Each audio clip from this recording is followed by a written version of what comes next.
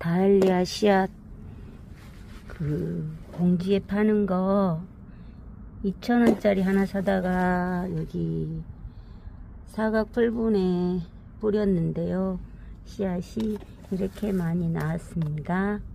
이제 이 정도 나오면 여기도 너무 빽빽하고 그래서 좀 더 튼신한 걸로 이렇게 뽑아 가지고요 어, 화분에다 이렇게 꾹 눌러줍니다.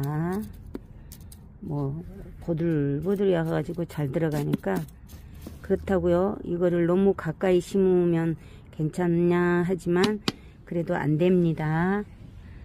다알리아가 생각보다 커요 크기가. 꽃도 엄청 많이 피는 것처럼 목대 같은 것도 엄청 많이 생기고 이파리도 엄 청 커지고 그러더라고요. 그래서 한 10cm 10cm 정도의 간격을 두고 이렇게 심고 있습니다. 작년에도 이렇게 해가지고 꽃을 많이 봤는데요. 이거는 다른 건가 봅니다. 꽃을 많이 봤는데 올해, 올해는 더 여러 가지 있는 색깔을 사다가 심고 있어요. 그 한 포트에 뭐 한 종류만 있냐면 그게 아니라 겹도 팔고요. 어, 색깔도 다양하고요. 어, 저는 그래서 구군으로 뭐 모아놨다가 하는 게 아니라 매년 씨앗 발화로 엄청난 많은 양의 다이알리아 꽃을 지금 심어 놓으면요 팔때 아니 저기 꽃이 피고 지, 꽃이 피고 지고를 한번 얘 다이알리아는 시작을 하면 거의 겨울 찬바람 날 때까지 꽃을 피고 지고 하더라고요. 그리고 여기 삽목판에 있는 이거를 다 하냐 그것도 아닙니다 원래 이제 여기에 너무 빽빽하니까 그 중에서도 이렇게 조금 굵은 아이들을 제가 옮겨 심고 있는데요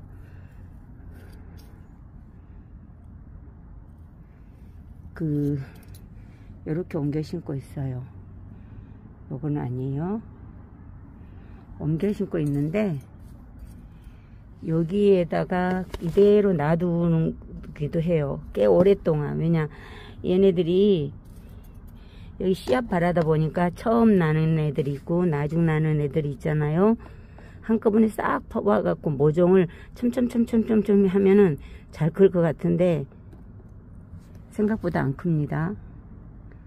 요렇게 큰 아이들만 한 가로 세로 10cm 딱 심어 놓으세요. 그러면은 완전히 화분에다 심는 것보다 이렇게 할 수만 있으면 이런 큰 삽목판이 있으면 거기에다 심으면은요 가을 다알리아 꽃이 가을에 엄청 가을이 아니죠. 뭐 봄서부터 시작하면 가을까지 피는 거니까 엄청 예쁘게 피어요.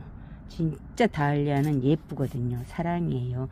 그리고 여기에 삽목판은 늦게 늦게 나는 애들은 늦게 나고 빨리 나는 애들은 빨리 나고 하니까 여기서 빨리 난 애들만 옮기고 옮기고 하다 보면은요 여기서 계속 나요. 그럼 어린 애들을 갖다 또 심고 또 심고 하니까 꽃이 끝이 없이 가더라고요. 여러분도 한번 시작해 보세요